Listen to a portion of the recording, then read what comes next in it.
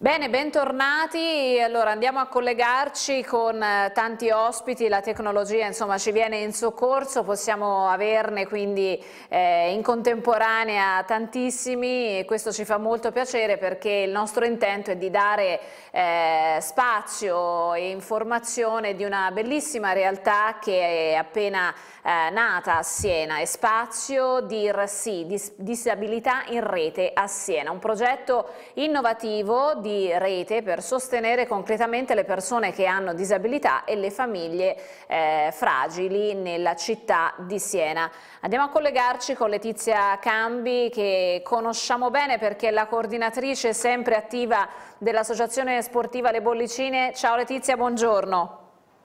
Buongiorno, grazie di questa bellissima opportunità. Grazie a te, eh, grazie a te per poterla raccontare. Allora, ci sono tante persone insieme a te, racconteranno insomma un po' come si eh, sta mettendo a punto questo progetto, raccontiamo un po' come è nato e ricordiamo anche che chiaramente eh, l'associazione Le Bollicine è capofila di questo nuovo progetto, però ci sono altre eh, associazioni che eh, ovviamente ne faranno parte, un progetto eh, riusciremo insieme finanziato dalla Fondazione Monte dei Paschi. Assolutamente, infatti appunto eh, siamo in tanti oggi eh, dietro eh, appunto lo schermo proprio perché eh, il valore grande di questo progetto è il senso di comunità che attorno alla persona con disabilità, cioè con la persona con disabilità al centro, vogliamo creare per eh, risposte eh, univoche e trasversali. Come nasce Dirsi? Dirsi è una progettazione che nasce in eh, risposta al bando Riesco della Fondazione Monte dei Paschi di Siena, finanziato per l'area della disabilità. Eh, la Fondazione ha emesso questo bando la scorsa estate per dare risposte ehm, chiaramente in seguito alla pandemia, all'emergenza Covid, sulle aree eh, di interesse anziani, fragilità ehm, eh, e eh, per l'area della disabilità quest'idea progettuale ha vinto il bando, una risorsa economica importante perché si parla di 105 eh, mila euro uh -huh. finanziate dove le bollicine sono capofila di una eh, grande rete di eh, terzo settore e istituzioni che si sono eh, collegate per sviluppare, partendo appunto da eh, un voler dare una risposta alla, fascia, alla situazione emergenziale, che però si collocano come prospettiva nella costruzione di una rete integrata che vuole essere innovativa e eh, partendo appunto da una situazione di emergenza vuol creare con modalità nuove un qualcosa che possa andare avanti nel tempo. Chi sono? Eh, chi è questa rete? Eh, esatto, raccontiamo. Abbiamo associazioni afferenti all'area della disabilità come Amici, la sezione di Siena, eh, appunto Luisci, Asedo, Associazione Senese Down, Semma Aiuti Ballanchio, Autismo Siena Piccolo Principe, Culturing, CAI, Associazione Visionaria, collaborano naturalmente. Accanto a questo collaborazioni con enti pubblici e eh, terzo settore abbiamo Mondo Mangione, abbiamo l'Università di Siena, abbiamo la nascita di un protocollo d'intesa che vede eh, in affiancamento istituzioni come l'ASL eh, di Siena, l'ASL Sud-Est, l'ASL e eh, le SDS di tutta l'area provinciale e la Fondazione Territori Sociali della Valdelsa. Qual è eh, il, la mission del, del progetto? La mission del progetto è creare appunto un senso di comunità interna e esterna. Vedete che dalla rete non sono presenti solo associazioni afferenti alla disabilità, ma anche associazioni culturali, associazioni che si occupano di eh, appunto eh, naturalistiche come il CAI, dove attorno alla disabilità possono nascere progettazioni di esperienze per tutti. Il progetto eh, si costituisce su tre aree principali che sono appunto la nascita di, eh, un, di spazi, spazi comunità interne e esterne che sono lo spazio informarsi, lo spazio insieme e lo spazio integrarsi. Abbiamo creato una comunità, una comunità di operatori, di volontari che mettendo idee, idee entusiasmo e professionalità si stanno collegando per eh, appunto sviluppare eh, queste progettualità. Lascio la parola a Riccardo che vi eh, delineerà eh, lo spazio informarsi. Ecco Riccardo, allora raccontaci qual è la, la novità, no? l'elemento davvero eh, di diversità rispetto ad altri progetti che chiaramente eh, hanno finora anche nel nostro territorio cercato di dare una risposta alle esigenze chiaramente delle persone fragili, delle loro famiglie. Sì, allora, buongiorno a tutti innanzitutto. Ehm, la novità, l'enorme novità è quella che ci siamo finalmente messi ufficialmente costituiti tutti insieme famiglia e ci siamo messi a, al lavoro eh, ufficialmente tutti insieme su un unico progetto. Quindi diciamo quello che finora bene o male ci si conosceva, però comunque erano magari contatti eh, più o meno diciamo, indiretti o comunque diciamo, di, di, di eh, non ufficiali, eh, ora c'è un, realmente un progetto, un progetto ufficiale.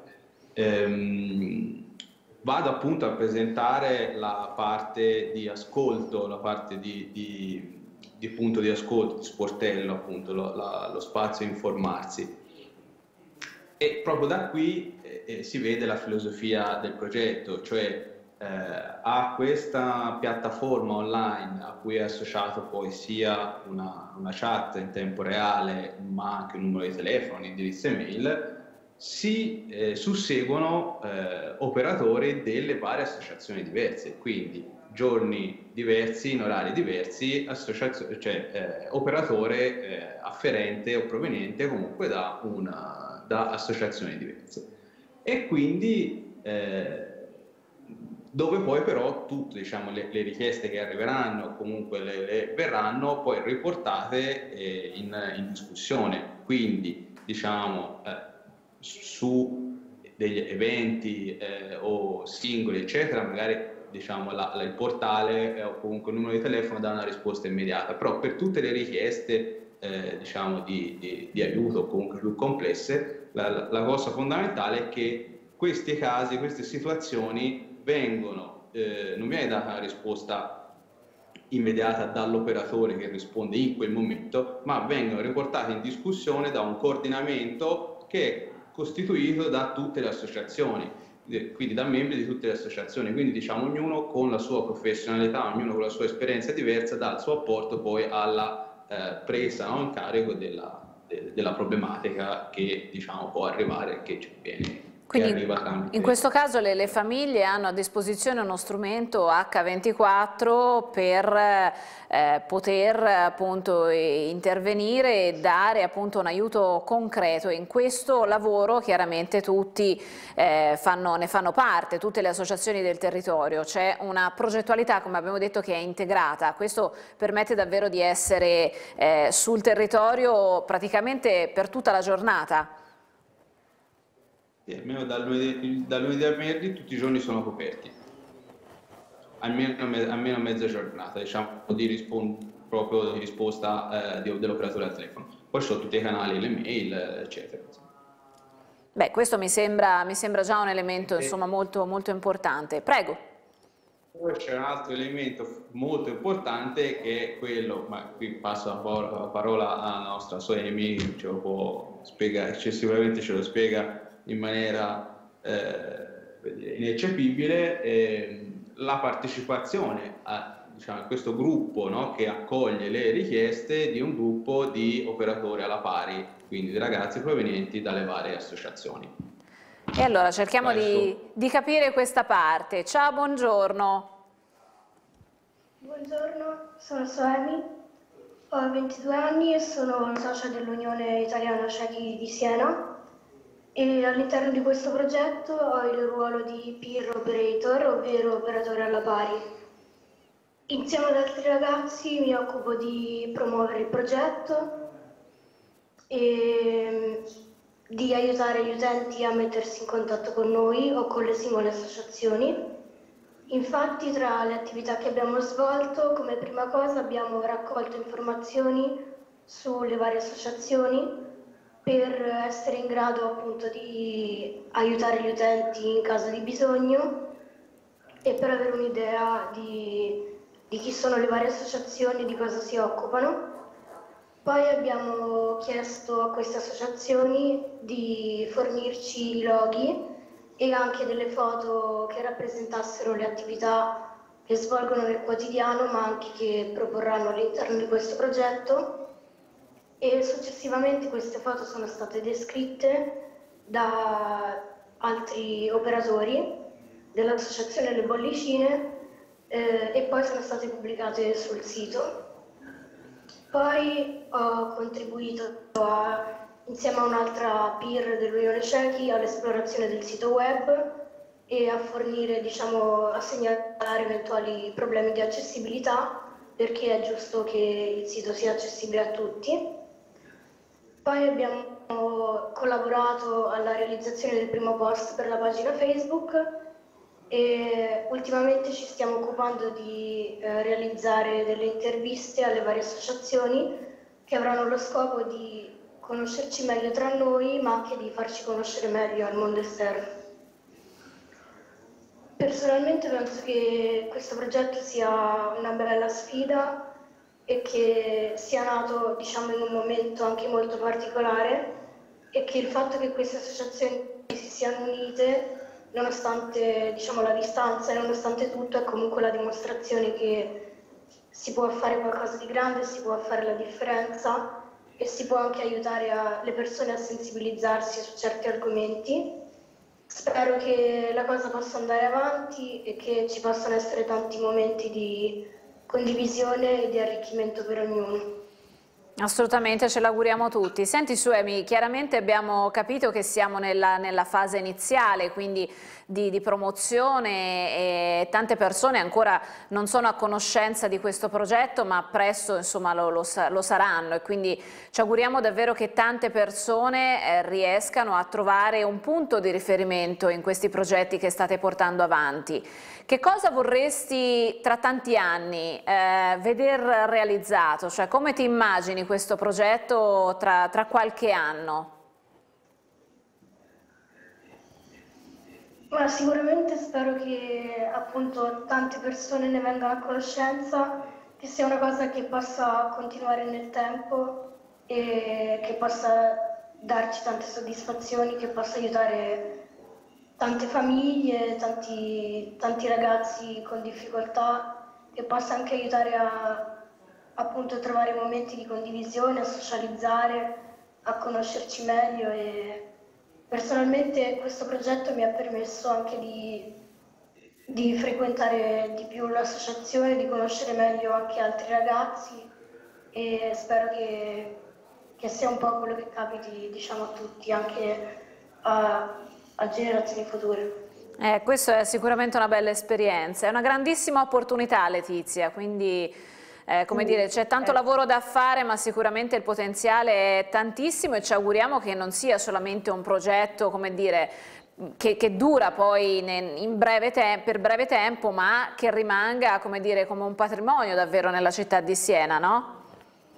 Esatto, infatti ecco, cioè, la, la anche il, il, lavoro di progettazione è andato in questa situazione, cioè in questa sensazione anche di eh, formalizzare la costituzione dell'ATS, per cui di un'associazione tra le associazioni e rendere anche ehm, diciamo, funzionante un protocollo d'intesa che vede eh, protagonisti le istituzioni proprio in una situazione di eh, dialogo e di coprogettazione con eh, appunto le, eh, le, SDS e l'ASL la, Sud-Est, dove la persona con disabilità è al centro. Questa è proprio la politica legata al progetto di vita della persona con disabilità, dove vedete che comunque eh, tutti gli attori, un terzo settore che diviene un terzo settore comunque capace di essere ehm, protagonista attivo ma anche di funzionare in una, funz in una funzione di ricomposizione di risorse e di interventi dove comunque ehm, tutti eh, fanno la loro parte appunto in funzione della persona. Questa è un po' la sensazione del, appunto, di questo sportello, di questo sportello che è lo spazio, ehm, che è lo spazio appunto informarsi, che comunque eh, ha una funzione di ascolto ma anche di orientamento e di diffusione di opportunità, non solo per, per la persona con disabilità ma per la comunità intera. Vorrei anche ehm, aprire riflettori comunque su eh, le altre iniziative che vedono questa ampia progettazione eh, eh, in senso lato e eh, do la parola a Martina Giunti che è membro dell'esecutivo appunto del, dell'ATS che esemplificherà eh, le, le, le, altre aree della progettazione. Eh, buongiorno, salve. Sì, Ciao Martina. Eh, ciao, buongiorno. Allora mi collego a quello che diceva Letizia appunto perché eh, lo spazio dirsi non si esaurisce appunto con l'attività di informazione, accoglienza e orientamento dello spazio informarsi, ma è anche un contenitore eh, di eh, una serie di iniziative che le associazioni che partecipano alla rete hanno programmato per il benessere degli utenti eh, dello spazio DIRSI. Eh, lo spazio infatti eh, diciamo, propone e dà vita a una serie di attività che sono eh, coprogettate e realizzate in condivisione di, di, spazi, di mezzi, di luoghi e anche di esperienze delle varie associazioni della disabilità della rete. Per cui abbiamo attività che spaziano da laboratori di autonomia attività motorie, laboratori espressivo-artistici, ortocultura, eh, laboratori di danza, ma anche servizi di prossimità e di socializzazione. Questi servizi sono pensati per la ripartenza e per contrastare anche eh, l'isolamento che questa pandemia eh, a, cui questa pandemia ci ha costretto e ci sta costringendo. È vero. E alcune attività sono state proprio pensate, eh, modulate in modalità online per permettere anche una partecipazione allargata a quegli utenti che abitano in zone diverse della provincia. Ehm, oltre a questo eh, abbiamo nella chiara dello spazio Rizzi lo spazio Includersi che propone tutta una serie di eh, eventi inclusivi dove questa comunità interna eh, possa eh, aprirsi alla partecipazione di tutta la cittadinanza in maniera appunto eh, inclusiva. Eh, queste attività sono eh, pensate e progettate insieme a tutte le associazioni della rete che non sono direttamente legate al mondo della disabilità. Eh, I primi eventi sono infatti quelli organizzati, con, come diceva Letizia, con il CAI Siena, sono una serie di escursioni naturalistiche che sono già in calendario e poi a tarda primavera organizzeremo anche una rassegna cinematografica in collaborazione con l'Associazione Culturale Visionaria la rassegna cinematografica inclusiva eh, che quindi eh, permetterà la partecipazione della cittadinanza ma sarà accessibile eh, verso tutte le disabilità, comprese le disabilità sensoriali. Quindi l'invito è comunque quello di visitare il sito spaziodirsi.it dove ci sono tutti i dettagli delle informazioni che abbiamo dato stamani e ci sono anche, c'è anche una sezione eh, dedicata allo sport, sport per tutti, dove ci sono i riferimenti e i contatti di tutte le associazioni sportive, gli enti eh, cittadini e della provincia che hanno in programmazione eh, attività sportive inclusive aperte a tutte le disabilità. Quindi nel, nello, nel sito poi ci sono eh, presenti anche appunto oltre al CIP che è, un, che è un partner del progetto, il Comitato Italiano Paralimpico, la sezione di Siena, anche altre appunto associazioni sportive ed enti eh, sportivi.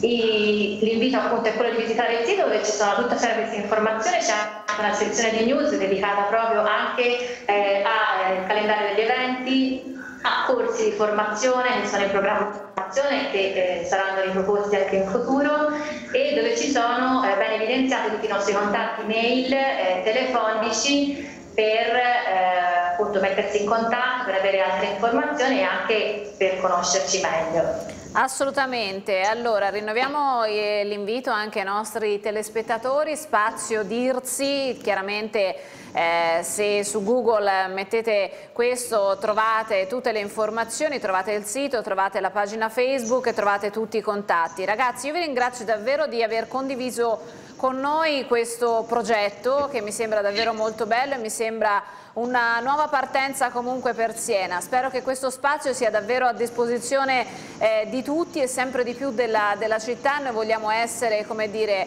eh, la vostra voce e quindi quando avete eh, sicuramente delle, delle, cose da dire noi siamo, siamo, qua e speriamo anche di trovarci presto per far vedere magari una, una bella iniziativa proprio per come dire, festeggiare questo nuovo inizio. Letizia, io ti ringrazio davvero, capofila delle bollicine e quindi insomma un progetto importante che eh, vi fa onore e fa onore anche alla Fondazione Monte dei Paschi che ovviamente ha finanziato questo progetto. Grazie e a presto, arrivederci con la prima iniziativa diciamo all'aperto. Intanto rinnovo eh, a tutti di visitare il sito e eh, segnalo anche il numero di telefono dello spazio informarsi che è 0577 40 052. Contattateci. Grazie, grazie mille, un saluto a tutti i ragazzi, eh, in bocca al lupo, noi ci crediamo e avete una, una grande squadra e quindi sicuramente faremo, farete delle, delle cose davvero straordinarie. Grazie di essere stati i nostri ospiti. Grazie a voi. Allora, salutiamo tutti gli ospiti virtuali, ci fermiamo un breve stacco pubblicitario e poi torniamo insieme per parlare ancora eh, di una cosa importante, non, non, è mai abbastanza, non è mai abbastanza parlare di donne, parlare di vittime di violenza e lo faremo insieme ad una psicoterapeuta che eh, si occupa proprio di questo a livello nazionale che ha appena scritto un libro davvero di straordinario successo. A tra poco. Thank you